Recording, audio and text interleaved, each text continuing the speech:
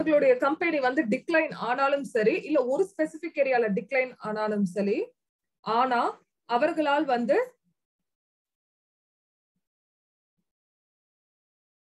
அதாவது உங்களுடைய இன்வெஸ்ட்மெண்ட் வந்து அந்த இடத்துல குறையாது.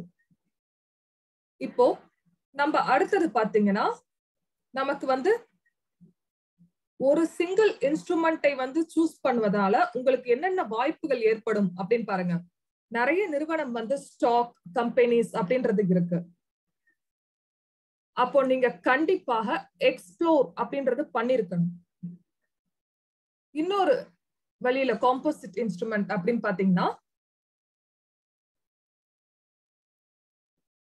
அவங்க வந்து லெஸ்ஸரா பே பண்ணுவாங்க. அது மூலியமா உங்களுக்கு வந்து நிறைய இன்வெஸ்ட்மெண்ட் இன்ஸ்ட்ருமெண்ட் கிடைக்கும். இது மூன்றாவது பாத்தீங்கன்னா அதாவது ஒரு ஒரே ஒரு இன்ஸ்ட்ருமெண்ட் வந்து பயன்படுத்தி நீங்க ஈல்ட வந்து சீக்கிரமா கொண்டு வருவீங்க. அப்போ நீங்க இதுல சரியான நேரத்துல சரியான தருணத்துல உள்ள வரணும். ஆனா காம்போசிட் இன்ஸ்ட்ருமெண்ட் அப்படின்னு நீங்க கேட்கும்போது லாங்கர் டேர்மாக இருக்கும். இந்த இன்ஸ்ட்ருமெண்ட் தான் மீடியம் இல்லை என்றால் லாங்கர் டேர்ம் இன்ஸ்ட்ருமெண்டாக இருக்கும். நான் இந்த இடத்துல நம்புறேன். நம்ம இப்போ பில்டிங் கன்ஸ்ட்ரக்ஷன் பண்றோம் அப்படின்னா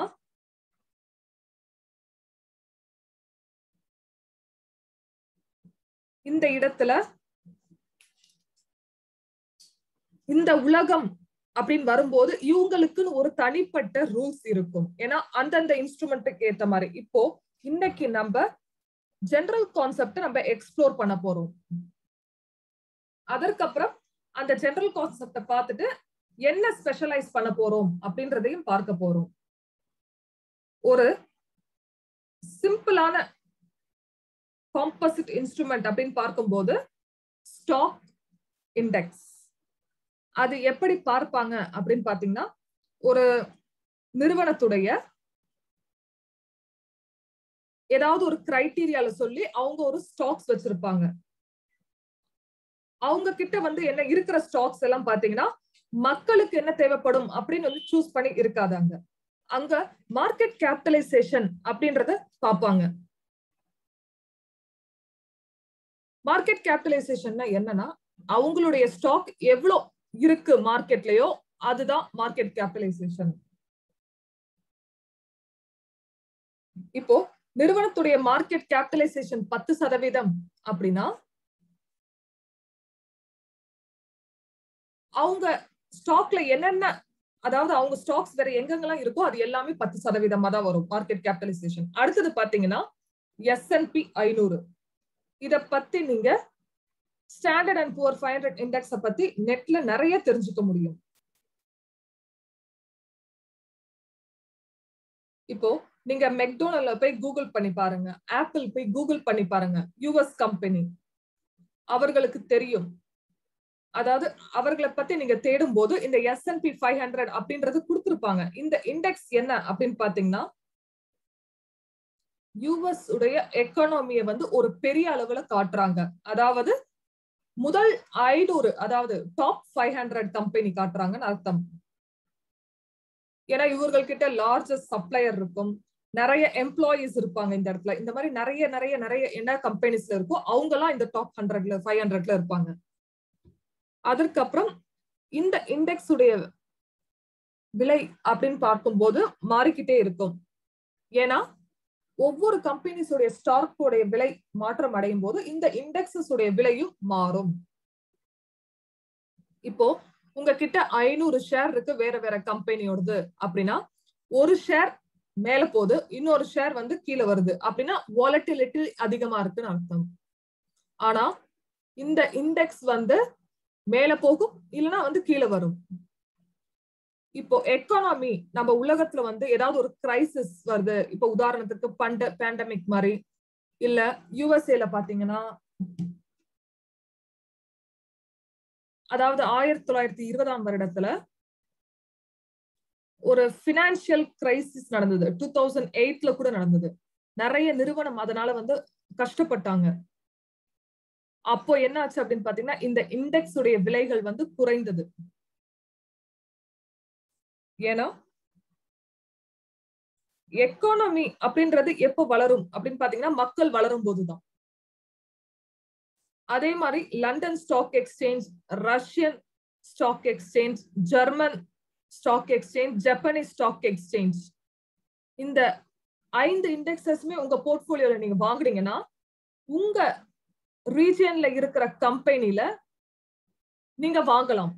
அது எப்படின்னு பாத்தீங்கன்னா பேங்க் இல்ல எக்ஸ்சேஞ்சஸ் இல்ல புரோக்கர்ஸ் அவர்கள் மூலியமா இந்த அஞ்சு இடத்துல இருக்கிற இண்டெக்ஸஸும் நீங்க வாங்கி வச்சுக்கணும். அப்படி வாங்கும் போது உங்க போர்ட்போலியோல ஒரு பிக்கஸ்ட் கம்பெனியாக மாறிடுவீங்க. அதே நேரத்துல இந்த இண்டஸ்ட்ரஸ் அப்படின்றது உங்க போர்ட்போலியோல இருக்கா அப்படின்னா வந்து சாட்ல ஃபைவ் கொடுங்க. உங்க இதுல ஐந்துமே இருக்குன்னா ஃபைவ் கொடுங்க. அந்த மாதிரி இந்த இண்டெக்ஸஸ்ல யாராவது இன்வெஸ்ட் பண்ற நபர்கள் இருந்தீங்கன்னா ஸ்டாக் மார்க்கெட்ல இன்வெஸ்ட் பண்றீங்கன்னா சாட்ல வந்து ஃபைவ் கொடுங்க. ஏன்னா உங்களுக்கு இந்த தகவல் தெரிஞ்சிருக்கா அப்படின்றத நானும் தெரிஞ்சுக்கிறேன். இந்த இடத்துல உங்களுக்கு வந்து எஸ்என்பி ஃபைவ் ஹண்ட்ரட் இண்டெக்ஸ் அப்படின்றத கொடுத்துருக்காங்க. இது எல்லாருக்குமே தெரிந்த ஒரு விஷயம். அதாவது twenty first of July twenty twenty one வந்து இந்த இடத்துல இந்த பத்து பெரிய கம்பெனிஸ் அவங்களுடைய ஷேர் வாங்கியிருக்கேன். அது மட்டும் இல்லாம எஸ்என்பி ஃபைவ் ஹண்ட்ரட் எனக்கு என்ன ஆச்சு அப்படின்னு பாத்தீங்கன்னா seven thousand five hundred US dollars வந்தது.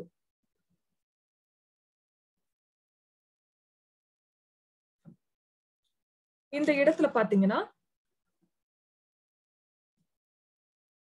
ஒரு குறிப்பிட்ட தகுதியில three hundred and forty one US dollars அப்படின்றது பாத்தீங்கன்னா நீங்க விலையா இருந்திருக்கு.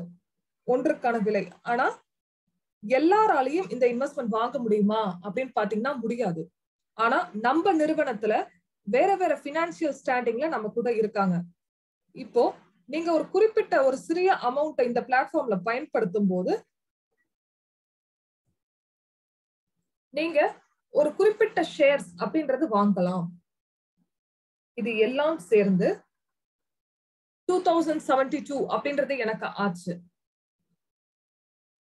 அப்போ இந்த எஸ்எம்பி ஃபைவ் ஹண்ட்ரட் அப்படின்னு பார்க்கும்போது நாற்பத்தி மூணு யூஎஸ் டாலர்ல நான் வாங்கியிருந்தேன். இது மிகவும் குறைவாக. இந்த அமௌண்ட் வந்து அஃபோர்ட் பண்றது மாதிரிதான். எல்லாருமே வந்து இன்வெஸ்ட்மெண்ட் வேர்ல்டுல ஜேர்னி ஆரம்பிக்கிறதுக்கு எல்லாருக்குமே வந்து இது குறைவான எண்ணாதான் இருக்கும். ஏன்னா நம்மளுடைய பிரைவேட் இன்வெஸ்ட்மெண்ட்டுடைய அம கமாண்ட்மெண்ட்ஸ்ல ஃபைவ் ஃபர்ஸ்ட் கமாண்ட்மெண்ட் என்னன்னு பாத்தீங்கன்னா பத்து சதவீதம் சேமிப்பது. அப்போ இதுல நீங்க வந்து ஒரு எஸ்என்பி ஃபைவ் ஹண்ட்ரட்ல ஒரு பிப்டி டாலர்ல போட்டு ஆரம்பிக்கலாம். அடுத்தது பாத்தீங்கன்னா இந்த இடத்துல வந்து மியூச்சுவல் ஃபண்ட்ஸ் அப்படின்றது இருக்கு. காம்போசிட் இன்ஸ்ட்ருமெண்ட்ல இல்லைன்னா எக்ஸ்சேஞ்ச் ட்ரேடட் ஃபண்ட்ஸ் பரிமாற்ற வர்த்தக நிதி. இந்த இடத்துல பரஸ்பர நிதியிலையும் சரி பரிமாற்ற வர்த்தக நிதியிலையும் சரி mutual fund ETF exchange traded funds இது இரண்டுமே வந்து ஒரு காம்போசிட் இன்ஸ்ட்ருமெண்ட் அப்படின்றத சொல்றாங்க. இதுல என்ன அப்படின்னு பாத்தீங்கன்னா வேற வேற கம்பெனில இருக்கிற இன்வெஸ்டர்ஸ் வந்து வேற வேற அசர்ட்ல இதுல இன்வெஸ்ட் பண்ணிருப்பாங்க. ரிசல்ட்டுக்காக. இப்போ மியூச்சுவல் ஃபண்ட்ஸும் இடிஎஃப்பும் பாத்தீங்கன்னா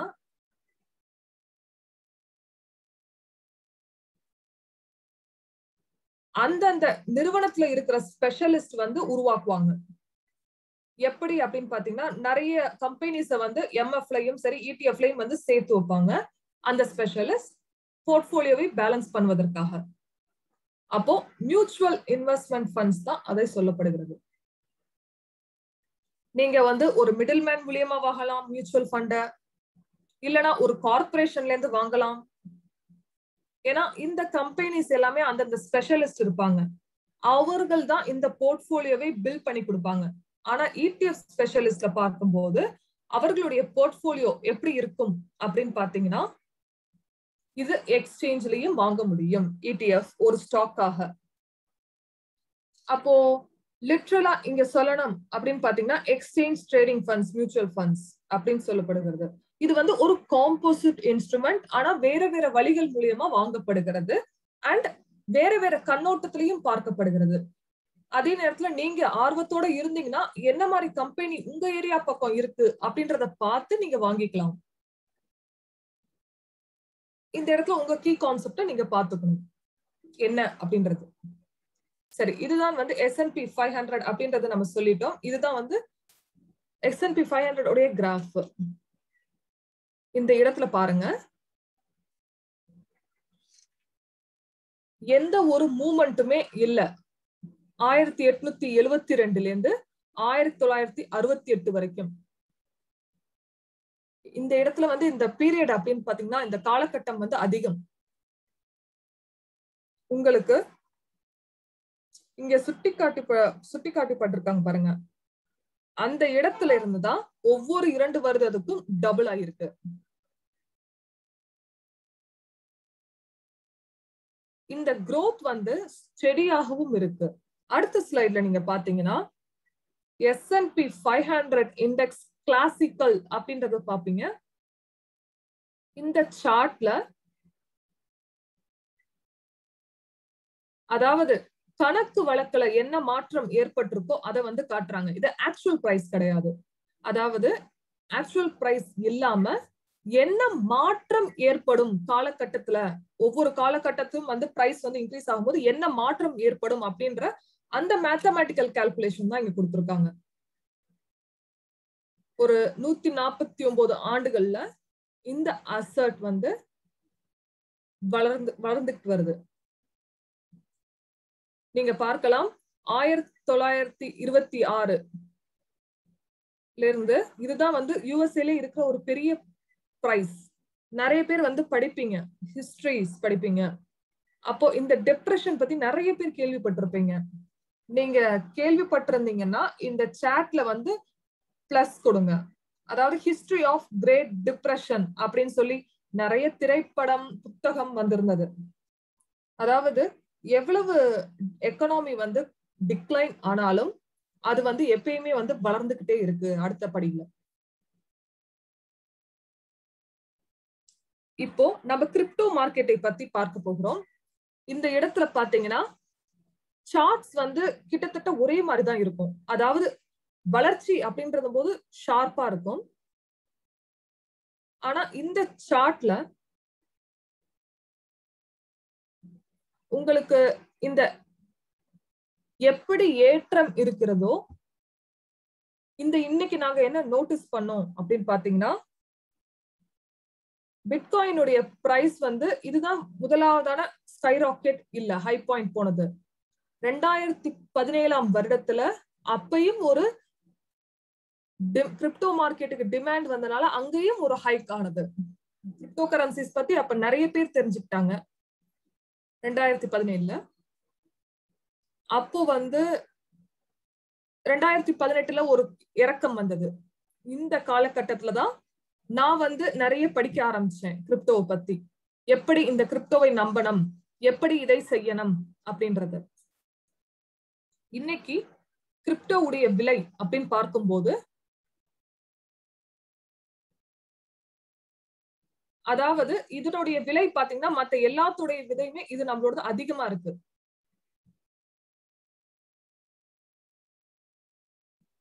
நமக்கு வந்து ஒரு ஃபாலோ அப் டிக்ளைன் வரும் ஒரு இறக்கம் வரும் அதுக்கப்புறம் ஏற்றம் வரும்.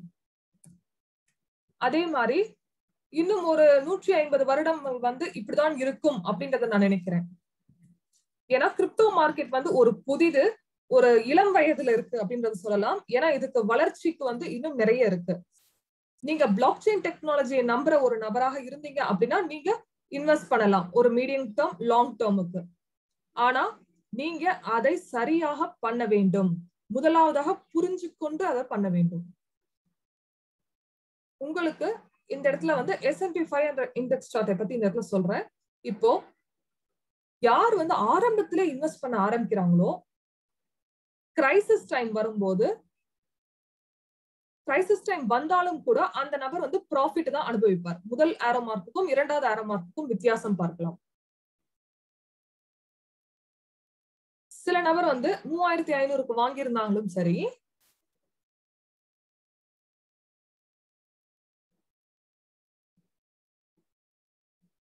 உங்களுக்கு இந்த இடத்துல ஐம்பது சதவீதம் டிக்ளைன் வந்திருக்கு.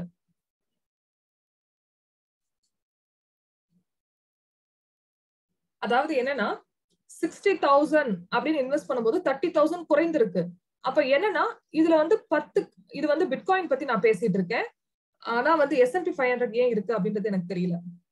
இப்போ ஒரு நபர் வந்து இல்ல ஒரு ஸ்டாக்கோ ஒரு காயினோ இன்வெஸ்ட் பண்றாரு அப்படின்னா பணம் வந்து அவர் இழக்க போறாரு அதாவது மார்க்கெட் குறையிறனால அப்படின்னா ஆனா உங்களுக்கு அது லாங் டேர்ம் பிளான் வந்து கண்டிப்பாக நீங்க வச்சிருக்கீங்க. இந்த இறக்கத்துக்காக நான் வந்து விற்க மாட்டேன். ஆனா அதே நேரத்துல நான் லாங் டேர்முக்கு வச்சிருக்கேன் அப்படின்னா நீங்க அதை வளர விட்டீங்க அப்படின்னா பாருங்க உங்களுக்கு எவ்வளவு வளர்ச்சி அடைஞ்சிருக்கு அப்படின்றது.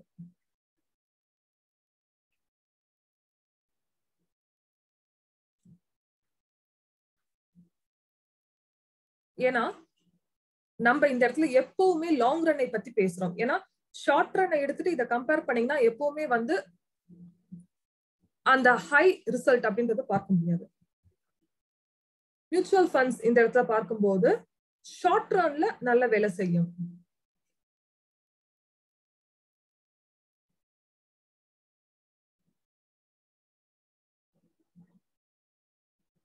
இப்போ ஹிஸ்டாரிக்கலா பாத்தீங்கன்னா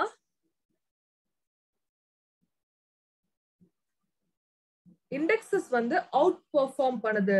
எதுக்கு அப்படின்னு பாத்தீங்கன்னா இடிஎஃப்க்கும் மியூச்சுவல் ஃபண்டுக்கும் வாரன் பஃபட் வந்து ஒரு தன்னுடைய ஒரு இன்டர்வியூல சொல்லியிருக்காரு.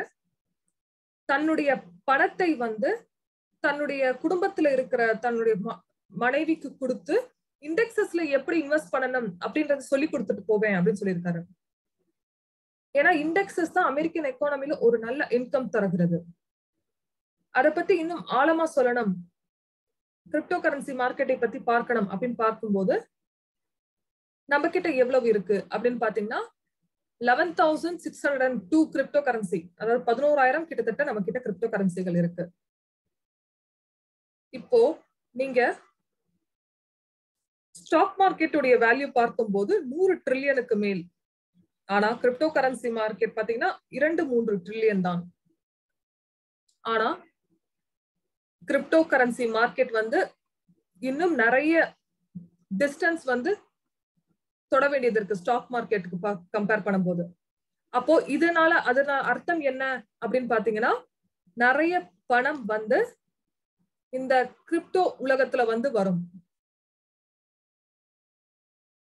அதனால இந்த இடத்துல ஒரு நல்ல வளர்ச்சி ஏற்படும்.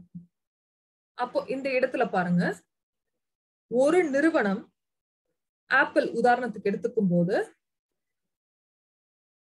அதாவது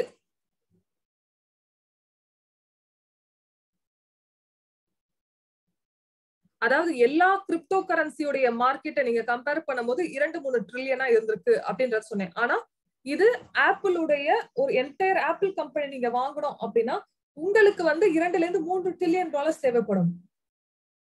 அப்போ இதுல வந்து நான் டாப் கம்பெனிஸ் சில நிறுவனத்தை எடுத்து சில நிறுவனத்தை எடுத்திருக்கேன்.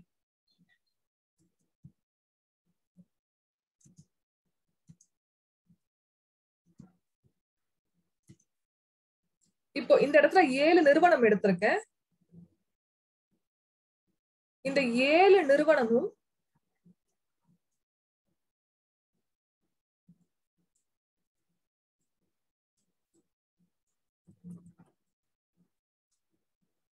இப்போ நம்ம கிட்ட வந்து வெரி வெரி பெரிய கம்பெனிஸ் இருப்பாங்க. அந்த கம்பெனிஸ்ல வந்து டெஸ்ட்லா பாத்தீங்கன்னா கிரிப்டோ கரன்சிஸ் வாங்குவாங்க.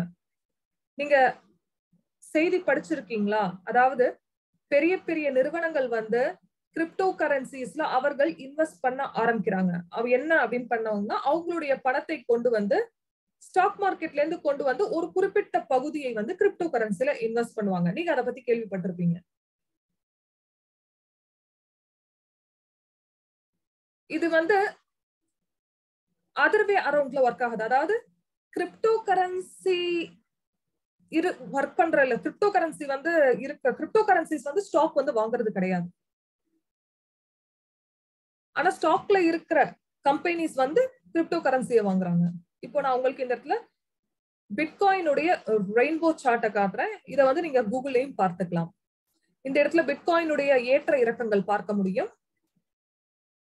நம்ம இப்போ இந்த நடுவுல இருக்கோம். என்ன அப்படின்னு பாத்தீங்கன்னா நம்ம மேலையும் போகலாம் இல்ல கீழையும் இறங்கலாம். இப்ப நம்ம கீழே போனோம் அப்படின்னா அர்த்தம் என்ன அப்படின்னு பாத்தீங்கன்னா அது ஆப்போசிட் அதாவது கண்டிப்பா வந்து சூனர் ஆர் லேட்டர் நமக்கு மறுபடியும் வளர்ச்சி ஏற்படும். நான் நான் என்ன பொறுத்த வரைக்கும் இந்த மார்க்கெட்டை வந்து எவ்வளவு குறைவா இருக்கணுமோ அவ்வளவு குறைவா இருக்கணும்னு நினைக்கிறேன். ஏன்னா நிறைய பேர் அப்பதான் வந்து வர முடியும். அதாவது சாட்ல கொடுங்க. ஏன் இந்த மார்க்கெட் வந்து கீழே போகணும்னு நினைக்கிறீங்க? சாட்ல வந்து பதில் கொடுங்க. ஆமா சரியான பதில். வாங்கணும் பை பண்ணணும். ஏன்னா நான் வந்து மார்க்கெட் கீழே போகணும் அப்படின்னு நினைக்கிறேன்னா வாங்கணும் அப்படின்றதுக்காக தான். ஏன்னா நம்ம எவ்வளவு கீழே கீழே போறோமோ வேல்யூ குறையும் போது நம்ம வாங்க முடியும் நிறைய. நான் இந்த உலகத்தை வந்து புரிஞ்சு வச்சிருக்கேன். கிரிப்டோ கரன்சி மார்க்கெட் வந்து கீழே இறங்கும் போது லாங் ரன்ல இது வந்து ஒரு நல்ல விஷயம். ஏன்னா நீங்க நிறைய வாங்க முடியும். அதே நேரத்துல நீங்க வித்தியாசம் தெரிஞ்சு வச்சுக்கணும். உங்க போர்ட்போலியோவை வந்து எந்த அளவுக்கு பாசிபிளாக வளர்க்கலாம் அப்படின்றது. அதே நேரத்துல நம்ம கிரிப்டோ கரன்சியோட மார்க்கெட் கேபிட்டல் அப்படின்றது மாறிக்கிட்டு இருக்கு. இப்போ எல்லா கிரிப்டோ கரன்சி மார்க்கெட் வேல்யூ பாத்தீங்கன்னா பிட்காயின் வந்து ஐம்பது சதவீதம் அப்படின்றத சொல்லியிருந்தாங்க. ஆனா எத்திரம் அப்படின்னு எடுத்துக்கிட்டீங்கன்னா ஆல்ட் காயின்ஸ் அப்படின்னு பேசப்படுகிறார்கள். ஏன்னா நிறைய பேருக்கு இந்த ஆல்ட் காயின்ஸை பத்தி நிறைய விஷயங்கள் தெரியும் அவர்கள் எல்லாமே வந்து பிட்காயின் எத்திரோடவே வந்து நின்றுறாங்க. அதனாலதான் கடினமா இருக்கு. ஏன்னா ஒவ்வொரு நாளும் இந்த வளர்ச்சி வரும்போது அதை தெரிஞ்சுக்கிறதுக்கும் கடினமாக இருக்கு. ஆமா பிட்காயின் வந்து பாதி கிரிப்டோ கரன்சி மார்க்கெட்ல சாம்ராஜ்யம் செஞ்சுட்டு இருக்கு. இந்த இடத்துல பாத்தீங்கன்னா தொண்ணூத்தொன்பதுக்கும் மேல் கிரிப்டோ கரன்சிஸ் பாத்தீங்கன்னா கேபிட்டலைசேஷன் அவங்கள்ட்ட இருக்கு. இதுல நாற்பத்தெட்டு சதவீதம் வந்து பிட்காயின் நாற்பத்தி ஏழு சதவீதம் alt coin remaining cryptocurrencies top ஹண்ட்ரட்ல ரிமைனிங் ஐந்து சதவீதம் வந்து கிரிப்டோ கரன்சிஸ் நூற்றுக்கும் என்ன நூற்றுக்கு மேல என்னென்ன இருக்கோ அது எல்லாம். அப்போ பாத்தீங்கன்னா கிரிப்டோ கரன்சியுடைய கேபிட்டலைசேஷன் நீங்க பார்க்கும்போது நீங்க டாப் ஒன் ஹண்ட்ரட் காயின்ஸை வாங்கும் போதே நீங்க உங்களை வந்து ஒரு போர்ட்போலியோவை எல்லா கிரிப்டோ கரன்சி மார்க்கெட்டையும் வந்து கிடைக்கும் போது அந்த மார்க் போர்ட்போலியோ உங்களுக்கு அந்த நூறு கிரிப்டோ கரன்சிஸ்மே உங்களுக்கு இருந்தது அப்படின்னா ரொம்ப நல்லா இருக்கும். ஆனா அதே நேரத்துல இந்த மார்க்கெட் வந்து நான் சொல்ல விரும்புறேன் இது வந்து ரொம்ப இளமை அதாவது யங் அப்போ நீங்க இந்த இடத்துல நான் வந்து பிட்காயின் அப்படின்றத காட்டல காட்டல ஏன்னா எப்பயுமே பிட்காயின் காமிச்சுன்னா அதுதான் ஆரம்பத்துல இருக்கும். ஆனா இங்க பாருங்க. என்ன டாப் டுவெண்ட்டில இருந்திருக்கோ மூன்று டோக்கன் தான் வந்து டாப் த்ரீல இருந்தது. ஆனா இப்ப பாத்தீங்கன்னா டாப் டுவெண்ட்டில வந்து மிக தீவிரமாக நிறைய பேர் வந்து பண்றாங்க. வளர்ச்சி அடைஞ்சும் வருகிறது. இப்ப டாப் த்ரீல இருந்த ரிப்பிள் கூட கீழே இறங்கியிருக்கு. லைட் காயின் வந்து கீழே இருந்தது இப்ப மேல போயிருக்கு.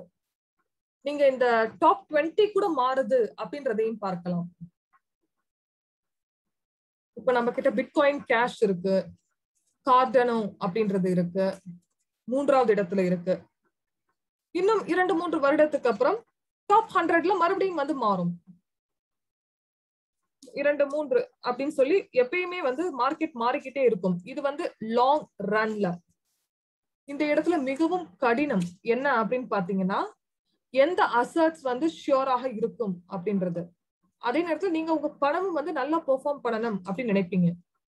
இப்போ எத்திரம் வந்து ரெண்டாயிரத்தி பதினஞ்சுல பாத்தீங்கன்னா நாலாவது இடத்துல இருந்திருக்கு. ஆனா இப்ப பாருங்க இரண்டாவது இடத்துல இருக்கு.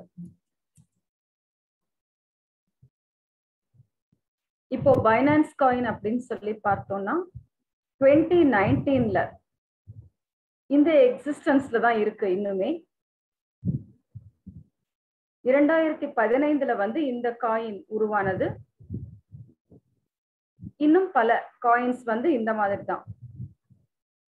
இப்ப வந்து ஒரு பொருளாதார கருவிகள் சம்பந்தப்பட்ட ஒரு முதலீட்டில் வந்து நாம் வேலை செய்தோம் அப்படின்னா நான் என்ன கவனித்தேன்? அப்படின்னு பார்த்தா சில இண்டெக்ஸ்ல வந்து மிகவும் அதிகமான விலை வந்து கொடுக்க வேண்டியிருந்தது. அதாவது one hundred and fifty thousand மேலும் வந்து two hundred and fifty thousand இந்த மாதிரி பணம் வந்து நிறைய செலவழிக்க வேண்டியிருந்தது. ஆனால் என்னிடம் அவ்வளவு தொகை கிடையாது. ஆகையால் நான் வந்து சில விஷயங்கள்ல வந்து ஒரு திருப்தி இருந்தது. இப்போ பத்து அல்லது இருபது ப்ராமிசிங் காயின்ஸ் நமக்கு வேணும் அப்படின்னு சொல்லி முடிவு பண்ணேன். ஏன்னா ஒரு ஃபிளெக்சிபிலிட்டி இருக்கணும். அதாவது உதாரணத்திற்கு வந்து இப்போ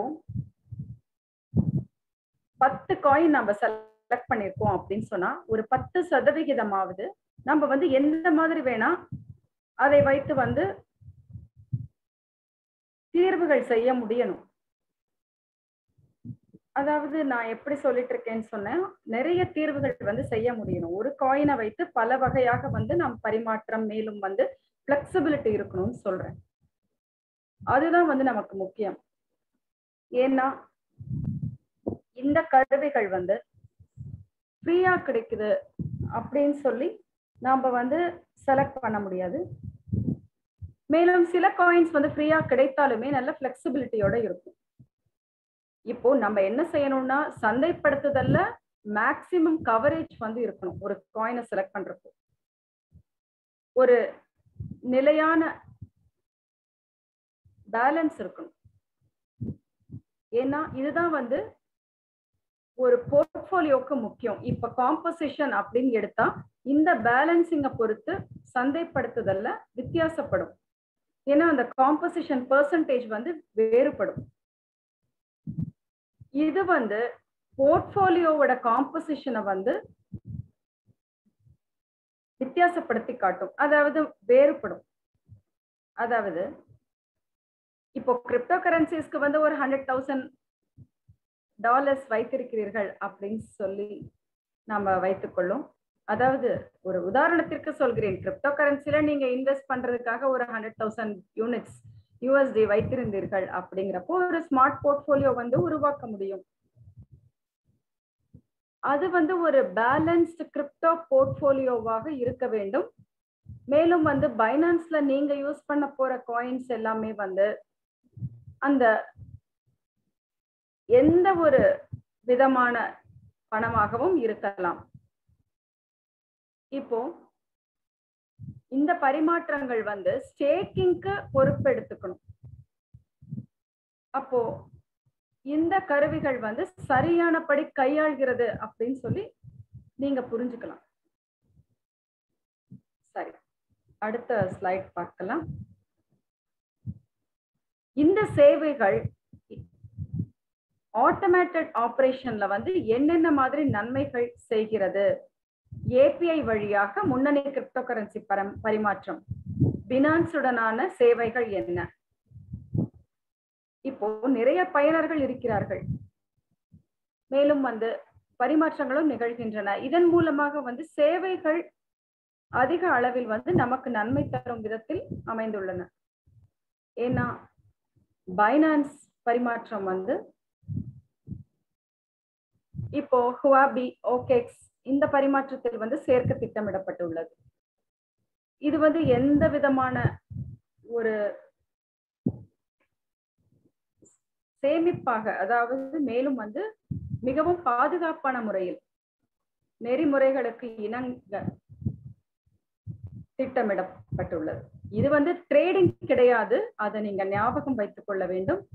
இது வந்து வாங்குறது விற்கிறது மேலும் ஹோல்டு பண்றது. ஏன்னா ட்ரேடிங் அப்படின்னு பார்த்தா குறைந்த காலத்தில் வந்து அதிக அளவில் வருமானம் கிடைக்கும். ஆனா ரிஸ்க்னு பார்த்தா அதிகமா இருக்கு. ஆனா இந்த விதமான கருவிகள் வந்து முதலீட்டில் ஒரு நீண்ட கால வரையறை வந்து திரும்ப பெறுவதற்கு இருந்தாலும் கூட ரிஸ்க் வந்து இல்லை. அப்போ இந்த சேவைகள் வந்து ட்ரேடிங்னு பார்க்கும் பொழுது ஒரு ஸ்ட்ராட்டஜிக்காக வந்து நமக்கு பணம் கிடைக்கிறதே ஒழிய இது சரியான ஒரு தீர்வுன்னு சொல்ல முடியாது. ஆனா இந்த ஸ்மார்ட் போன் போர்ட்போலியோ வந்து என்டையர் மார்க்கெட்டையும் ஒருங்கிணைக்க பாடுபடுகிறது. ஏன்னா நாங்க வந்து இப்போ தொண்ணூத்தி ஐந்து சதவிகிதம் வந்து மார்க்கெட் கண்டிஷன்ஸை பொறுத்து நமக்கு வந்து வழங்கல் முறை விதிக்கப்படுகிறது. ஆகையால் வந்து இது ஒரு நீண்ட கால ஆதாயம் அப்படின்னு பார்த்தா கூட கண்டிப்பாக வந்து ஒரு வருமானம் தரும் ட்ரெண்டாக இருக்கிறது. ஏன்னா இந்த கரண்ட் பிரைஸ்ல வந்து நம்ம என்ன பார்க்கிறோமோ அதை விட வந்து முப்பது நாற்பது ஐம்பது சதவிகிதம். சில சமயம் வந்து எயிட்டி பர்சன்ட் ரிடக்ஷன் கூட கிடைக்கிறது. ஏன்னா வெயிட் பண்ண தயாரா? நம்ம எப்ப கிளைம் பண்ண போறோம் அப்படிங்கிற அந்த பீரியட் வந்து நம்ம பொறுமையாக காத்திருப்போமா? அப்படிங்கறதுதான் விஷயம். த்ரீ அண்ட் ஹாஃப் தௌசண்ட் வந்து ரோல் அவுட் பண்ண காலமும் இது உண்டு. அப்போ நண்பர்களே இந்த மாதிரி அதிகமா வாங்குறோம் அப்படிங்கிறப்போ ஒரு நல்ல ரிசல்ட் தான் நம்ம எதிர்பார்ப்போம். ஒரு சொத்துக்கள்ல வந்து எல்லா சார்ட்டும் வந்து நம்ம பார்த்தாச்சு. சரி அப்படி இருக்கும் பொழுதும் வந்து சரியான ஒரு தீர்வு இல்லை அப்படின்னு சொன்னா மார்க்கெட் வந்து இன்னுமே ரெக்கவர் ஆகல. இன்னுமே சரியான நாம நினைத்த ஒரு வருமானத்தை வந்து மார்க்கெட்டால கொடுக்க முடியல அப்படிங்கிறப்ப வந்து எதற்காக இந்த சொத்துக்கள் வந்து அதிகமா நம்ம வாங்கினோம் அப்படிங்கிற ஒரு நிலை வரக்கூடாது. ஏன்னா அன்றாட வாழ்க்கை தேவையை நாம் பூர்த்தி செய்ய வேண்டும்.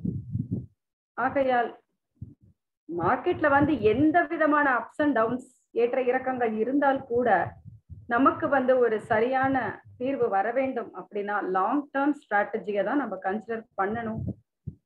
ஏன்னா கரண்ட் மார்க்கெட் கண்டிஷன்ஸ் பற்றி நாம் இதில் கவலைப்பட தேவையில்லை. ரிஸ்க்கும் வந்து அந்த அளவுக்கு கிடையாது. வெரி லோ ரிஸ்க் தான். ஆகையால் பைனான்ஸ்ல வந்து உங்களுடைய தொகை ஃபியட் அல்லது கிரிப்டோ கரன்சி இல்லைன்னா கேஷ் அவுட் பண்ணிக்கலாம். எந்த தருணம் வேணா நீங்க வித்ட்ரா பண்ணிக்க முடியும். மேலும் வந்து சரி உங்களுக்கு வந்து லாபம் வருகிறதா? அந்த லாபத்தை எடுத்துட்டு நீங்க போட்ட முதல வந்து நீங்க எப்ப வேணா வித்ட்ரா பண்ணிக்கலாம். அந்த ஒரு நன்மை வந்து இதில் உள்ளது. மேலும் வந்து உங்களுடைய லிஸ்ட்ல இருந்து உங்களுடைய டோக்கன்ஸை கூட நீங்க ரிமூவ் பண்ண ஒரு ஆப்ஷன் உள்ளது. மேலும் வந்து ஒரு டோக்கன் வந்து சரியானபடி லாங் டேர்ம் ப்ராமிஸ் கிடையாது அப்படிங்கிற பட்சத்துல அந்த டோக்கனை வந்து லிஸ்ட்ல இருந்து நீங்க எடுத்துக்க முடியும். மேலும் இப்போ கிரிப்டோ கரன்சி மார்க்கெட் வந்து அறுநூறு சதவிகிதம் வளர்ச்சியை காண்பித்திருக்கிறது. இப்ப வந்து இந்த கருவி மூலமாக ஒரு எட்நூறு சதவிகிதம் ஓவரால் கிராஸ் வந்து கிடைத்தது அப்படிங்கிறப்ப அதாவது டாப் பிப்டி காயின்ஸ்ல நைன்டி பர்சன்டேஜ் லாபம் வந்து நீங்க செய்கிறீர்கள். அப்படிங்கிறப்ப தௌசண்ட் பர்சன்டேஜ் வந்து ரிட்டர்ன்ஸ் திரும்பவும் கிடைக்கும். இப்போ நீங்க உங்களுடைய முடிவை யோசித்துக் கொள்ளலாம். ஏன்னு சொன்னா நம்பகத்தன்மையான ஒரு சேவை. இப்ப வந்து காயின்ஸ் எல்லாமே எப்படி வேணா நம்ம வந்து லிஸ்ட் பண்ணிக்கலாம். ஆனா ரிட்டர்ன்ஸ் வந்து கண்டிப்பா அதிகமா தான் இருக்கும். இன்னுமே விளக்கமான ஒரு தீர்வு வந்து உங்களுக்காக நான் வழங்க போகிறேன். இப்பொழுது one thousand two hundred USDT ஒரு வருடத்திற்கு கிரிப்டோ யூனிட் பேக் ஆஃபீஸ்ல வந்து நீங்க பர்ச்சேஸ் பண்ணிக்க முடியும். அதற்காக இரண்டாயிரம் யூஎஸ்டிடி வந்து பைனான்ஸ் அக்கௌண்ட்ல உங்களுக்கு இருப்பு இருக்க வேண்டும்.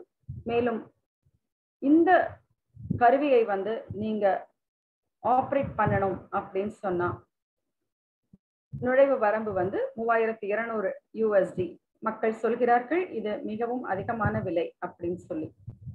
ஆனா கண்டிப்பா வந்து நான் என்ன நினைக்கிறேன்னு சொன்னா மார்க்கெட்டை பார்க்கும்போது இது மிக மிக குறைவு. ஏன்னா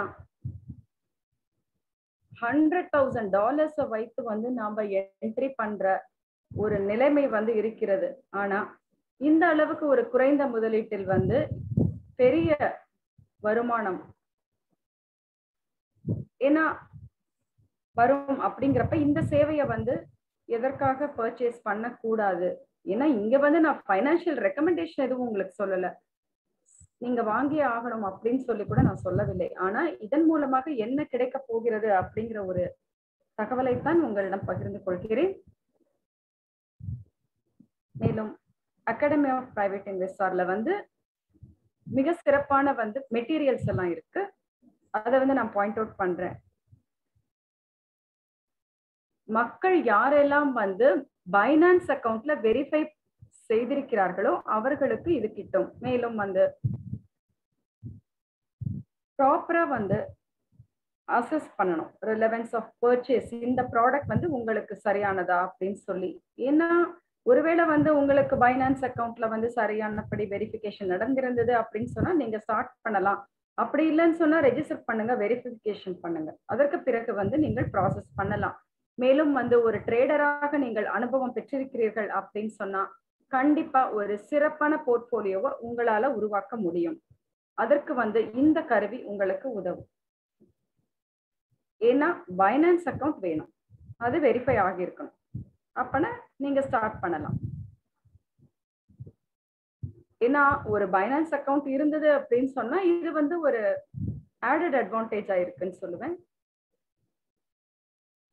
Overall crypto currency market growth படி இதுதான் வந்து நடக்கணும். இப்ப வந்து சாமுவல் பிரெனான் அப்படின்னு சொல்றவர் ஆயிரத்தி எட்நூத்தி நாற்பதுகள் மற்றும் ஐம்பதுகளில் அமெரிக்க தங்க அகழ்வின் போது கலிபோர்னியாவில் முதல் மில்லியனர் ஆனார். இரண்டு மைனஸ் வந்து நீங்க சேர்ந்து இந்த மாதிரி ஒரு உருவாக்கம் மற்றும் உருவாக்கியது எல்லாம் நீங்க படித்தீர்கள் அப்படின்னு சொன்னா அவரை பற்றி நீங்கள் தெரிந்து கொள்ளலாம். இப்போ இந்த மண்வெட்டி உபகரணங்கள் வந்து வேண்டியவர்களுக்கு அவர் விற்றார். அது வந்து கிரிப்டோ கரன்சி மார்க்கெட்ல ஒரு பெரிய சாதனை வந்து செய்திருக்கிறார். சாமுவல் பிரெனன் பற்றி நீங்கள் படித்துக் கொள்ளலாம். மேலும் அந்த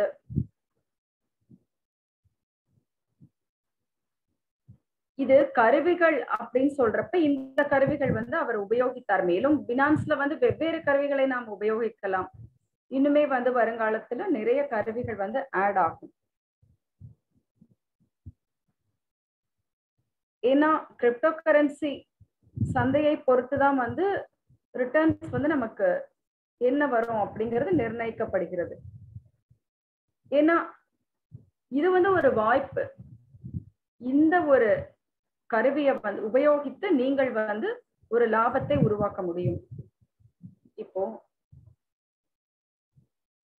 ஒரு வருடம் ஆயிரத்தி இருநூறு யூஎஸ்டியு டூ தௌசண்ட் யூஎஸ்டிடி வந்து பைனான்ஸ்ல அப்போ முதலீட்டு வரவு வந்து மூவாயிரத்தி இருநூறு யூஎஸ்டிடி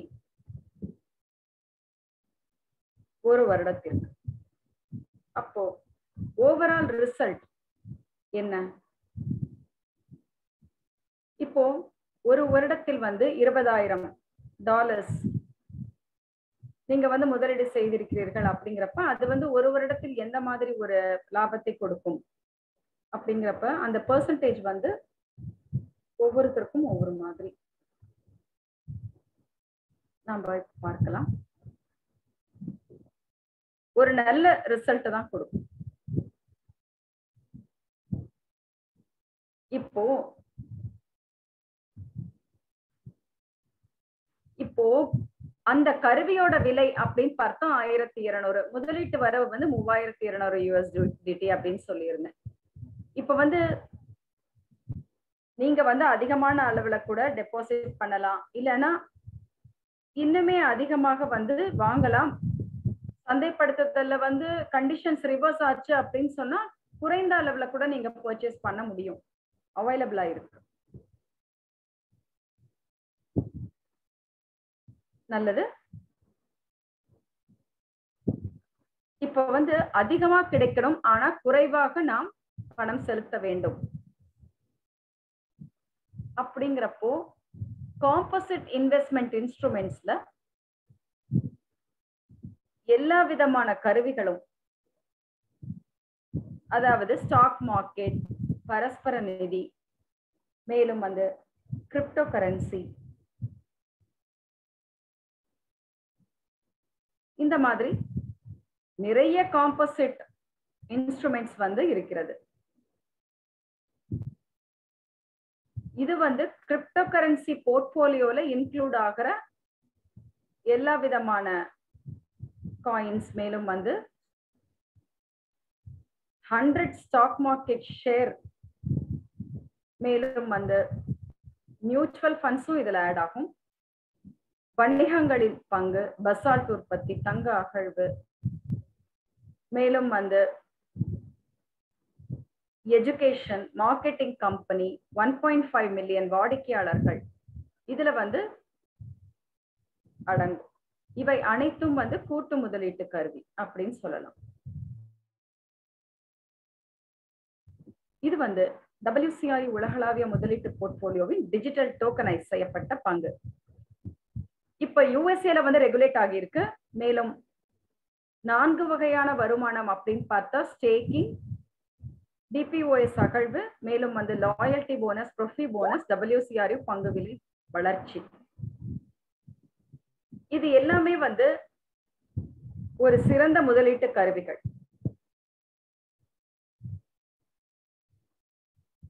இது வந்து இன்னைக்கு கூட நீங்க வந்து எயிட்டி சென்ட்ஸ்ல வாங்க முடியும். டபிள்யூசிஆர்யூ செக்யூரிட்டி டோக்கனை மேலும் வந்து அதன் விலை ஒரு டாலராக மாறுகிறது.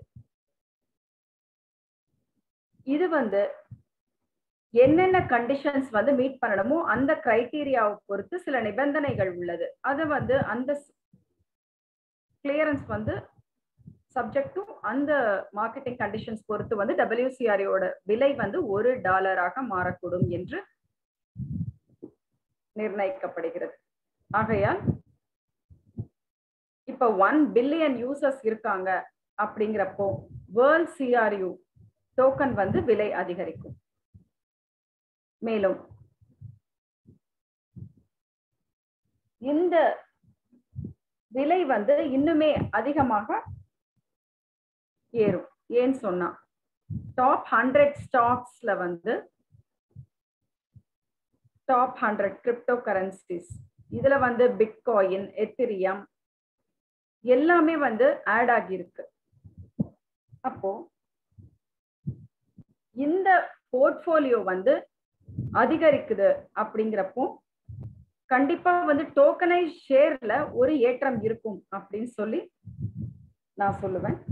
ஏன்னா இந்த திட்டங்கள் எல்லாமே சரியானபடி வந்து ஒரு லாபத்தை பார்த்தால் கண்டிப்பாக டபிள்யூசிஆரியோட வேல்யூ வந்து அதிகரிக்கும்.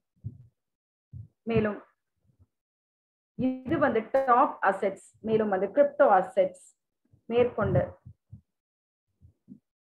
எல்லாமே வந்து நான் சொன்னபடி மியூச்சுவல் ஃபண்ட் ஸ்டாக் மார்க்கெட்ஸ் எல்லாமே இன்க்ளூட் ஆகியிருக்கு.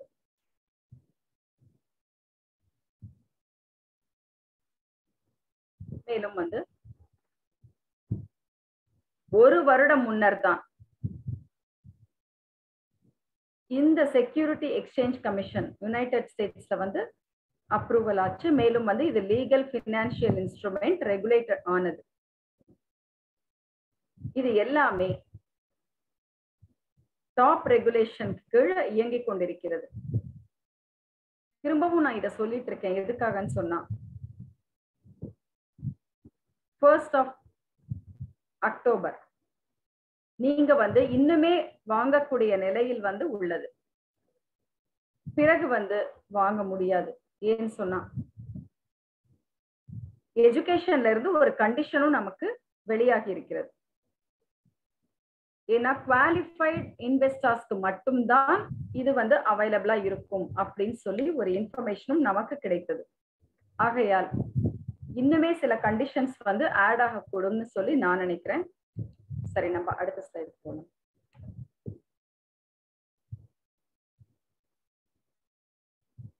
இப்ப வந்து உங்களுக்கு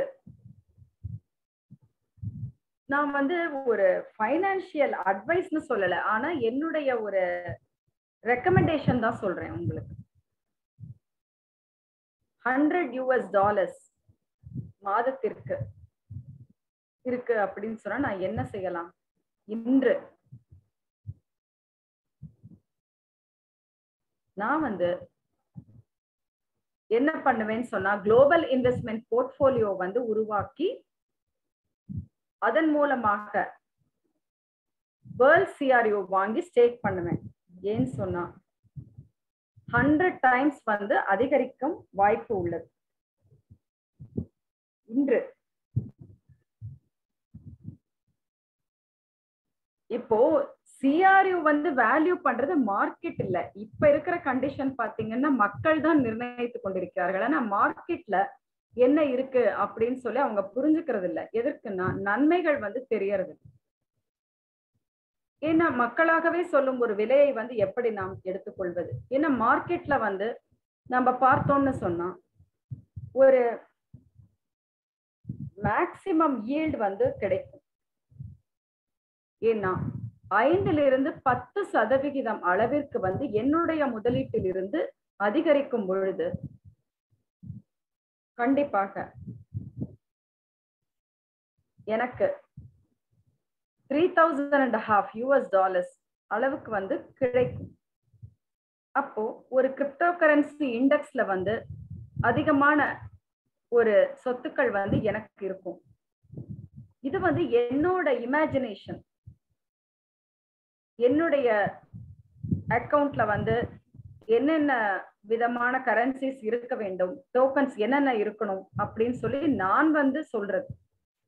இப்போ அடுத்த மூன்று ஐந்து ஆண்டுகள் கழித்து வந்து கண்டிப்பாக எந்த ஒரு மார்க்கெட் கண்டிஷன்ஸ் வந்தாலும் அதை வந்து நான் நினைத்து அதன் மூலமாக கிடைக்குமா அப்படின்னு சொல்லி எந்த விதமான ஒரு கவலையும் இல்லாமல் இருக்கலாம். ஏன்னா அந்த மாதிரி என்னோட போர்ட்போலியோ அமைந்திருக்கிறது. ஆகையால் இப்போ முப்பது சதவிகிதம் வந்து லாபம் அதிகபட்சம் கிடைக்கும்னு சொல்றேன் மூலதன ஆதாயத்திலிருந்து. ஆகையால் என்ன செய்வீர்கள்னு சொன்னா தொடர்ச்சியாக வந்து பணிபுரிவார்கள். ஏன்னா ஷார்டேஜ் ஆஃப் மணி அப்படிங்கிறதே இருக்காது. இப்போ இப்போ ஸ்டார்டிங் கேபிட்டல் வந்து டென் தௌசண்ட் யூஎஸ் டாலர்ஸ் அப்படின்னு சொன்னா இருபது சதவிகிதம் வந்து நான் டபிள்யூசிஆர்யூ வாங்குவேன். மேலும் வந்து அதன் மூலமாக யூஎன்டிபி ஜெனரேட் செய்வேன். அடுத்தது இருபது சதவிகிதம் வந்து சிஆர்யூ அதன் மூலமாக யூஎன்டிபி அகழ்வு மேலும் வந்து அதனுடைய அதிகபட்ச நன்மைகள் என்னன்னு சொன்னா என்னென்ன திட்டங்கள் இருந்தாலும் எவ்வளவு சிஆர்யூ இருக்கிறதோ அதை பொறுத்தும் கூட நம்ம வந்து அந்த திட்டங்களில் இருந்து ஆதாயம் பெற முடியும். ஏன்னா அதையும் வந்து கன்சிடர் பண்ணுவாங்க. இப்போ தேர்ட்டி பர்சன்ட் கிரிப்டோ கரன்சி இதுல இருந்து கிரிப்டோ செயின் பிளாக் செயின் டெவலப்மெண்ட்ல வந்து நமக்கு ஆதாயம் உள்ளது. இப்போ இந்த முதலீடுகள் எல்லாமே என்னுடைய டிமாண்ட் வந்து கிரிப்டோ மார்க்கெட்ல என்ன இருக்கோ அதை வந்து கவர் பண்ற அளவுக்கு இருக்கு. அப்போ இந்த மாதிரி தான் வந்து நான் செயல்படுவேன் எந்த விதமான சமயத்திலும் சரி. ஏன்னா கிரிப்டோ கரன்சி இண்டெக்ஸ்ல வந்து ஒரு ஸ்மார்ட் போர்ட்போலியோ கிரியேட் பண்ணணும் அப்படின்னு சொன்னா இந்த மாதிரி தான் வந்து டிஸ்ட்ரிபியூட் பண்ணுவேன் என்னுடைய பெர்சன்டேஜ மேலும் வந்து சிங்கிள் டீல்ஸ் கூட நான் வந்து எடுத்துப்பேன். அடுத்தது முப்பது சதவிகிதம் அப்படின்னு பார்த்தா பங்கு சந்தையில் நான் வந்து இன்வெஸ்ட் பண்ணுவேன். மேலும் அதனால நிலையான வளர்ச்சி இருக்கும். இப்படிதான் வந்து தேர்ந்தெடுக்கப்பட்ட கருவிகளில் வந்து நான் முதலீடு செய்வேன். மேலும் இந்த ரிட்டர்ன்ஸை வந்து இன்னுமே டிஸ்ட்ரிபியூட் ஆகிறப்போ வெவ்வேறு கருவிகள் வந்து நாம ஆட் பண்ண முடியும். இது வந்து மிகவும் விரைவான ஒரு கருவிகள் மூலதனத்தை கொடுக்கும் அப்படின்னு திரும்ப ஆதாயம் வந்து கிடைக்கிறதுன்னு சொல்லுவேன். இப்போ எந்த அளவுக்கு வந்து நீங்க படித்தாலும் கூட செயல்முறை மட்டுமே முடிவுகளை தர அப்படிங்கிறது நமக்கு தெரியும். இப்ப வந்து முதலீடு அப்படிங்கிறது வந்து நம்ம செய்யறோம் முதலீடு பண்றோம் அப்படிங்கிறப்போ அப்ப வந்து மார்க்கெட்ல இருந்து ரிவார்ட்ஸ் கிடைக்கும். மேலும் நம்ம எப்படி அப்ரோச் பண்றோம் அப்படிங்கிற ஒரு வழியும் இருக்கு. எப்பயுமே வந்து பாசிட்டிவா நாம வந்து நினைக்கிறோம் அப்படிங்கிறப்ப வந்து அதாவது என்னை போல இப்போ வந்து எம்எல்சிஐ ப்ரோ மேலும் வந்து marathon two hundred and sixty marathon two sixty இந்த மாதிரி பல பயிற்சி திட்டங்கள் மேலும் வந்து பாடத்திட்டங்களை வந்து நான் படித்திருக்கிறேன். ஆகையால் இந்த திறமைகளை வந்து நீங்கள் வளர்த்து கொண்டீர்கள் அப்படின்னு சொன்னா இது எல்லாமே வந்து உங்களுக்கு செயல்முறைக்கான சரியான பயிற்சியை அளிக்கும் என அறிவிக்கிறேன். மேலும் இன்னும் ஒரு ஆழமான ஒரு கருத்து சொல்ல விரும்புகிறேன். இப்ப வந்து கிரிப்டோ எக்ஸ்போ இருக்கு துபாயில. நான் வந்து பார்ட்னர்ஸ்க்காக பார்த்து கொண்டிருக்கிறேன். மேலும் வந்து பிளாக் செயின்ல வந்து ஒரு கம்பெனி வந்து செலக்ட் பண்ணியிருக்கோம். அதுல வந்து டோக்கன் பிளாக் செயின்ல வந்து ஒரு ஆர்டிக்கல் நான் பார்த்தேன். இதுல வந்து வியாபாரம் செய்வது சரியான ஒரு முடிவு அப்படின்னு சொல்லி நான் முடிவு செய்தேன். ஏன்னா டாப் ஹண்ட்ரட்ல வந்து நம்பர் தேர்ட்டி எயிட்ல இருந்தது. அப்ப வந்து எனக்கு தெரியும். கண்டிப்பா வந்து நான் உங்களுக்கு ஃபைனான்சியல் ரெக்கமெண்டேஷன் தரல திரும்பவும் சொல்றேன். ஆனா நான் என்ன பண்ணேன்னா கண்டிப்பா அது இருக்கான்னு சும்மா செக் பண்ணேன். அப்போ முப்பத்தி எட்டாவது நிலையில இருந்து இருபத்தி ஒன்பதுக்கு வந்திருந்தது அப்பனா அவங்க டோக்கன்ஸ் வந்து என்னோட போர்ட்போலியோல முன்னரே இருந்தது. அப்போ தொண்ணூத்தி ஐந்து சதவிகிதம் வந்து மார்க்கெட் கவரேஜ்ல இருந்தது. மேலும் இந்த ஆர்டர் ஆஃப் ப்ரொசீஜர்ஸ் என்ன அப்படின்னு பார்த்தா ஒரு பைனான்ஸ் கணக்கு வந்து நாம உருவாக்கணும். மேலும் பதிவு செய்ய வேண்டும் சரிபார்க்க வேண்டும். மேலும் வந்து கைட்லைன்ஸ் எல்லாமே அவைலபிளா இருக்கு. வைப்பு ஏபிஐ கீ வந்து கிரியேட் பண்ணணும். இப்போ பேக் ஆஃபீஸ்ல வந்து இவோரிச்ல நீங்க டாப் அப் பண்ணலாம். அப்படி இல்லைன்னா உங்களை வந்து யார் அழைத்து வந்தார்களோ அவர்களிடம் வந்து ரெஃபரல் லிங்க் வாங்கலாம். மேலும் வந்து பேக் ஆஃபீஸ்ல வந்து டாப் அப் பண்ணலாம். பர்சனல் அக்கவுண்ட்ல இருந்து நீங்க வந்து சிஆர்யூ டாப் அப் பண்ணலாம். மேலும் வந்து இந்த சேவையை வந்து வாங்க முடியும். ஸ்மார்ட் போர்ட்போலியோக்கு நீங்கள் செல்லலாம். இப்போ பர்சனல் அக்கவுண்ட் ஸ்மார்ட் போலியோ போர்ட்போலியோவுடைய ஒரு பேக் ஆஃபீஸை வந்து நீங்க பார்த்து கொண்டிருக்கிறீர்கள். இப்பொழுது. இப்ப வந்து சேவ் பண்ணணும். அடுத்தது இந்த ஸ்கிரீன் வந்து உங்களுக்கு டிஸ்பிளே ஆகும். இப்ப வந்து இந்த சேவையை நிறுத்த வேண்டும் அப்படின்னு சொன்னா அதற்கு உண்டான ஒரு டேப் இருக்கு. ஒரு செகண்ட் வெயிட் பண்ணுங்க. நான் செக் பண்ணிட்டு இருக்கேன்.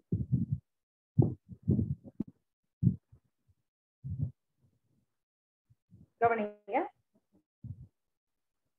இப்போ வேற டேப் எக்ஸ்சேஞ்ச் அப்படிங்கிற ஒரு டேபுக்கு போகணும். ஸ்மார்ட் போர்ட்ஃபோலியோ அங்க வந்து பேலன்ஸ் அப்புறம் வந்து டாப் ஃபிஃப்டியா இல்ல டாப் தேர்ட்டியா அப்படின்னு சொல்லி நீங்க வந்து செக் பண்ணலாம். மேலும்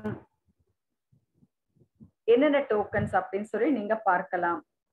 என்ன டோக்கன்ஸ் நீங்க வேணும்னு நினைக்கிறீங்களோ அந்த டோக்கன்ஸை வைத்துக் கொள்ளலாம். வேணும் எந்த டோக்கன்ஸ் வேண்டாம்னு சொன்னா அதை நீங்க நீங்கள் வந்து தேர்ந்தெடுத்துக் கொள்ள முடியும். அதை வந்து ரிமூவ் பண்ணலாம். இப்ப பாருங்க. சில காயின்ஸ் வந்து வேண்டாம்னு சொன்னா டெலிட் பண்ண முடியும். சில காயின்ஸ் ஆட் பண்ணணும்னா ஆட் பண்ணிக்கலாம். இப்ப வந்து ஆப்ஷன்ஸ் இருக்கு. அதற்கு உண்டான ஆப்ஷன்ஸ் மேலும் அடுத்த வளர்ச்சி சார்ட்டுக்காக நீங்க வெயிட் பண்ணலாம். ஏன்னா அந்த காயின் வந்து ஒரு வளர்ச்சி அடைகிறது அப்படின்னு உங்களுக்கு தெரிந்தால் அதற்காக வந்து நீங்க காத்திருக்கலாம். ஏன்னு சொன்னா மார்க்கெட் கவரேஜ் வந்து எப்படி இருக்கு அப்படின்னு சொல்லி பார்க்கலாம். மேலும் போர்ட்போலியோவை விற்பனை செய்யலாம். ஒரு நல்ல ப்ரைஸ் கிடைத்தது அப்படின்னு சொன்னா மேலும் வந்து இன்னுமே அதிக நீண்ட காலத்திற்கு வந்து நீங்க போர்ட்போலியோ மெயின்டைன் பண்ணணும் அப்படின்னு சொன்னா வைத்திருக்கலாம் சேல் பண்ணாம. பிறகு வந்து விற்பனை செய்து கொள்ளலாம். மேலும் வந்து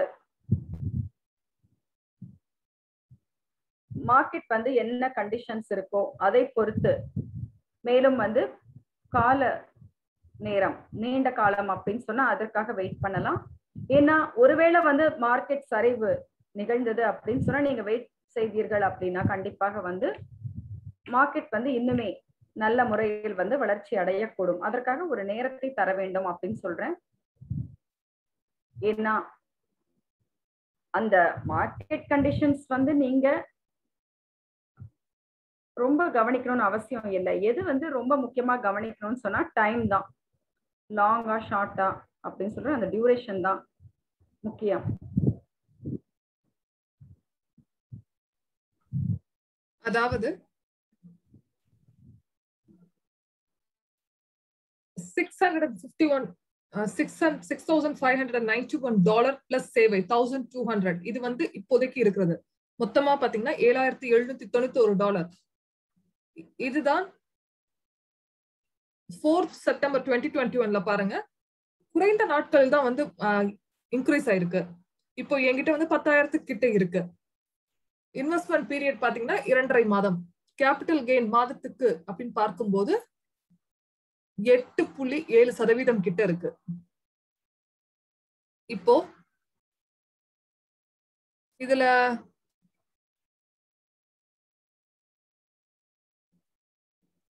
செவன் தௌசண்ட் நீங்க போட்டு ஒன்பதாயிரம் நீங்க ஏர்ன் பண்ணி அதுல எட்டு சதவீதம் உங்களுக்கு ப்ராஃபிட் வந்திருக்கு.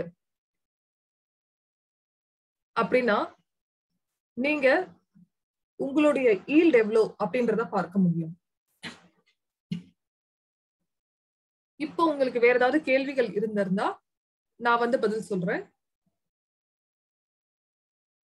அதனால ஒரு ஒன்று இரண்டு மூன்று கேள்விகளுக்கு மட்டும் பதில் சொல்லிவிட்டு இந்த வெபினார் ரூமை வந்து மற்றவர்களுக்கும் கொடுக்கணும். அதனாலதான். அதனால உங்கள் கேள்விகள் இருந்தது அப்படின்னு அனுப்பிவிடுங்க. இப்போ நம்மளுடைய குளோபல் போர்ட்போலியோ எடுத்துட்டீங்கன்னா லாங் டேர்ம் இப்போ நம்மளுடைய ரெஜிஸ்ட்ரேஷன் எஸ்சிசில இருக்கு. நம்ம நம்ம கிட்ட இருக்கிற இன்ஸ்ட்ருமெண்ட்ஸுக்கும் கிரிப்டோ கரன்சிஸோ இல்ல மியூச்சுவல் ஃபண்ட்ஸோ ஸ்டாக்ஸோ ரியல் எஸ்டேட்டோ போர்ட்போலியோல ஒரு ரிஸ்கி இன்வெஸ்ட்மெண்ட் இன்ஸ்ட்ருமெண்ட்டும் இருக்குதான் போர்ட்போலியோல அது வந்து டைவர்ஸ் பண்ணப்பட்டிருக்கு பிரித்து கொடுக்கப்பட்டிருக்கு. அதை வந்து நான் ரிஸ்க் அப்படின்றத நான் சொல்ல மாட்டேன். என்னை பொறுத்த வரைக்கும் என்ன சொல்வேன்னா நான் வந்து வேல்யூவேட் பண்ணப்பட்டிருக்கு. அதே நேரத்துல வந்து சரியாக பண்ணப்பட்டிருக்கு அப்படின்னு சொல்லுவேன். ரிஸ்கி அப்படின்றது ரிஸ்கி அப்படின்னு பாத்தீங்கன்னா இன்வெஸ்ட்மெண்ட் வந்து ஒரு டாப் டுவெண்ட்டில ஏதாவது ஒரு டோக்கனை எடுத்து நீங்க இன்வெஸ்ட் பண்றது. உதாரணத்துக்கு பொல்கா டாட் அப்படின்னு எடுக்கும்போது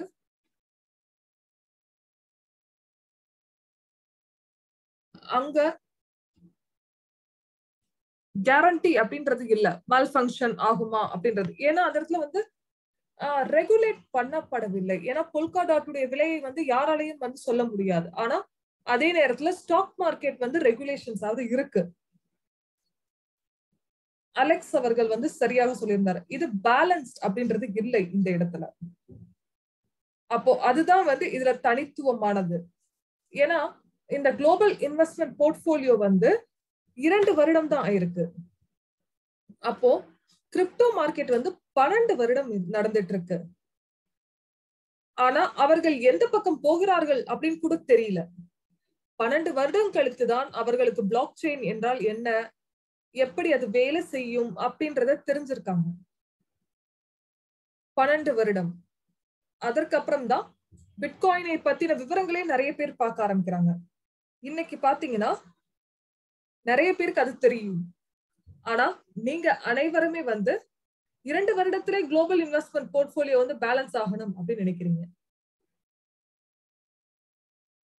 அப்போ போர்ட்போலியோ பேலன்ஸ் ஆகணும் அதே நேரத்துல ரிஸ்க் வந்து குறைவா ஆகணும் அப்படின்னு பார்க்கும்போது ஸ்மார்ட் போர்ட்போலியோ வந்து ஆட்டோமேட்டிக்கா பேலன்ஸ் ஆயிடுது. அந்த ரிஸ்கை வந்து குறைப்பதற்காக.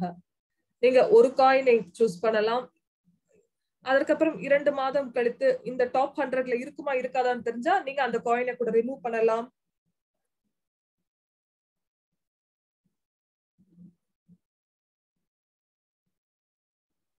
அப்போ நீங்க சிஆர்யூ பேக் ஆபீஸ்ல ஆயிரத்தி இருநூறு யூனிட்ஸ் பே பண்ணதுக்கு அப்புறம் ஏதாவது அட்வைஸ் கிடைக்குமா இஷ்யூஸ் வந்தா அப்படின்றத கேக்குறாங்க. அதாவது இந்த சர்வீசஸ்க்கு வந்து இந்த சர்வீஸ் பயன்படுத்தும் போது ஏதாவது இஷ்யூ வந்தா சொல்லுவாங்க. ஆனா பினான்சியல் அட்வைஸ் கொடுக்க மாட்டாங்க. கம்பெனி உங்களுக்கு நாலேஜ் தான் கொடுப்பாங்க. இப்போ எதிர் இப்போ வந்து முன்னாடி என்ன பாத்தீங்கன்னா ஃபண்டமெண்டல்ஸ் ஆஃப் பிளாக் செயின் அப்படின்ற ஒரு பயிற்சி உங்களுக்கு கொடுக்கப்பட்டது. நீங்க அதை எடுத்து படிச்சுட்டு நீங்க சில டோக்கனோட நீங்களே வேணும்னா நீங்க கம்பேர் பண்ணி பார்க்கலாம். அப்பதான் உங்களுக்கு மார்க்கெட் எப்படி வேலை செய்யுது அப்படின்றது தெரியும். ஒரு கமெண்ட் வருது. ப்ரொபோசல் வந்து சரியாக இருக்கிறது அப்படின்னு சொல்லியிருக்காங்க. இன்வெஸ்டிங் அப்படின்ற ஒரு எண்ணத்துக்கு மட்டும் இல்லாமல் இத வந்து ஒரு பணம் சம்பாதிக்கிறவர்கள் வந்து ஆர்வமாக இதை பார்ப்பாங்க. யார் வந்து இந்த கோல்ட் ரஸ்ட்ல வந்து அதிகமா ஏர்ன் பண்ணிருக்கீங்க அப்படின்னு பார்க்கணும். அதனால நான் ஏன் இந்த இன்ஸ்ட்ருமெண்ட்டை வந்து ரெக்கமெண்ட் பண்றேன்? நம்ம குளோபல் இன்வெஸ்ட்மெண்ட் போர்ட்ஃபோலியோல இருக்கணும் அப்படின்னு சொல்றேன். அப்படின்னு பாத்தீங்கன்னா ஏன்னா இதுல நிறைய ப்ராசஸ் வந்து ஆட்டோமேட்டிக்கா இருக்கு. நிறைய பிசினஸ் ப்ராசஸ் வந்து கொடுக்கப்பட்டிருக்கு. இது எல்லாமே வந்து ஆட்டோமேட்டிக்கா இருக்கு. இதுல தொண்ணூறு சதவீத கிரிப்டோ மார்க்கெட்டை வந்து நம்ம குளோபல் இன்வெஸ்ட்மெண்ட் போர்ட்போலியோல அது இம்பாக்ட் பண்ணும். இப்ப மார்க்கெட் குறையுது அப்படின்னா வேர்ல்ட் வேல்யூவும் குறையும். ஆனா நமக்கு வேற செக்மெண்ட்டும் இருக்கு. இப்போ கிரிப்டோ மார்க்கெட் வளருது. கண்டிப்பா இது வளரும். அப்போ அது வளரும் போது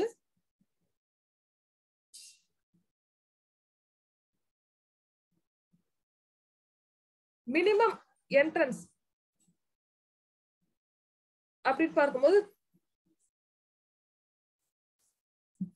அதாவது ஒருத்தர் வந்து தப்பா சொல்லியிருக்காரு. அதாவது சர்வீஸ் உடைய பிரைஸ் வந்து ஆயிரத்தி இருநூறு. நீங்க உங்களுடைய பினான்ஸ் அக்கௌண்ட்டை வந்து இரண்டாயிரம் டாலர் அப்படின்றத டாப் அப் பண்ணி வைத்திருக்கணும். இந்த இந்த சர்வீஸை ஆக்டிவேட் பண்றதுக்கு.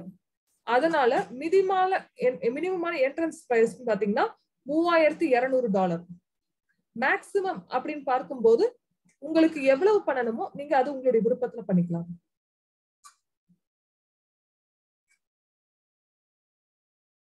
இந்த சர்வீஸ் வந்து டிஸ்ட்ரிபியூட் பண்ணப்படும். இதனுடைய ஐடியா பாத்தீங்கன்னா ஒரு ஸ்மார்ட் போர்ட்போலியோவை உருவாக்குவது.